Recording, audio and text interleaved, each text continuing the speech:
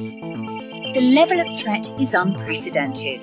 Nation states, hacktivists, terrorists, and cybercriminals use sophisticated military grade malware for targeted and persistent attacks. The losses are growing, not just direct financial losses caused by interruption to business, revenue losses, and lost data, but also by the destruction of customer trust.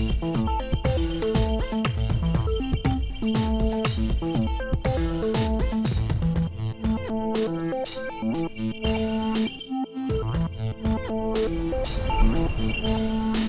you.